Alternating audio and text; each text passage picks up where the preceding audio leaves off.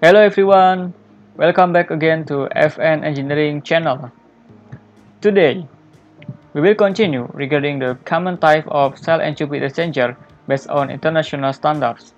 Previously, we have discussed the shell and tube heat exchanger type based on the TEMA standard and HEI standard. If you don't see yet the video, I always recommend you to see the video first because the video will be related to this video. Before we continue, please support this channel by like this video and subscribe to this channel.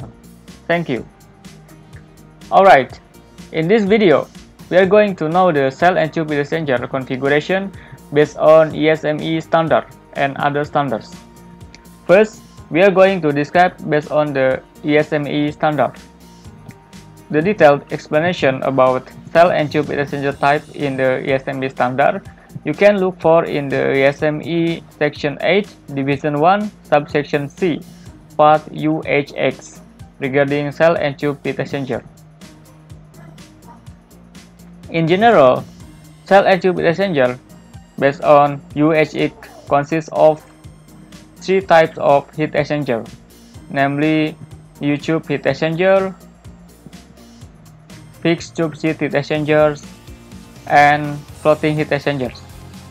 In ASME UHX shell and tube exchanger type, each of types have characteristics in the tubesheet and rear arrangements. In the next slide, we are going to know the tubesheet configuration in the U-tube tubesheet type. We have six types of tubesheet. These types are almost similar to heat exchanger institute stationary tubesheet arrangements. There are type A or seat integral with shell and channel. Type B seat is integral with shell extended as flange and gasket on the channel side. Type C is similar to type B, but seat is not extended as flange. So, we need additional backing device in the shell side. Type D. The gasket on both sides, channel side and shell side. Moreover, tubesheet can be extended as flange or not. Type E is opposite to type B, and type F is also opposite with type C. The next material is tubesheet configuration for fixed tubesheet. These types have only four types, namely type A, type B, type C, and type D. These types are the same with type A until D in the U-tube heat exchanger, and we have explained in the previous slide.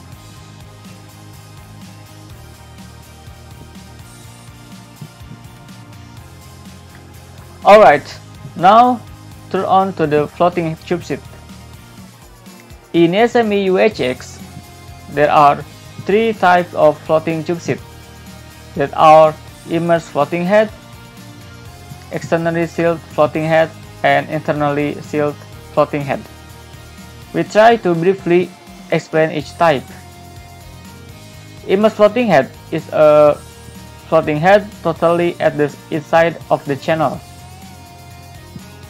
This type is equivalent to TEMA type S or type T and HEI type 5 or type 6. The next type is externally sealed floating head. A pack of floating head at the outside of the channel.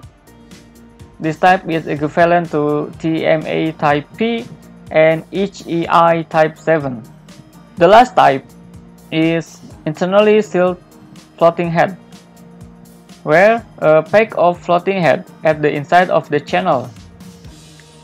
This type is also similar to TEMA type W and HEI type 8. In addition, floating tubesheet has different characteristics in the stationary tubesheet or floating tubesheet. The stationary tubesheet is the same with tubesheet configuration of U-tube heat exchanger namely type A, type B, type C, type D, type E, and type F. Meanwhile, the floating seat has four different types, namely type A uppercase, type B uppercase, type C uppercase, and type D uppercase. In this slide is the stationary chipset configuration. They are the same as the previous slide. So, they are the same as the previous slide. Type A, Type B, Type C, Type D, Type E, and Type F. So, we go to the next slide. These are floating chipset configuration. In order to distinguish with the stationary chipset, we, we use the uppercase symbol, namely type A, type B, type C, or type D. Type A is an integral tube chipset or chipset integral with the channel. Type B is a gasket on the channel side and chipset as a flange. Meanwhile, the Type C is the same with Type B, but the chipset is not extended as a flange. The last type is Type D. Type D is chipset internally sealed or a packing at inside of the channel. Alright, we go to the next material. We are going to explain the hairpin heat exchanger. Sometimes, hairpin heat exchanger is called by double pipe heat exchangers. The main characteristics of hairpin heat exchanger are using a U-tube having two shells and TEMA standards about shell and tube heat exchangers. Moreover, hairpin heat exchanger has two types of the closure of front head that are common front closure or using a tubesheet. Separated front closure uses two uses two tubesheets and packing in the shell side and the channel side and also the packings are separated.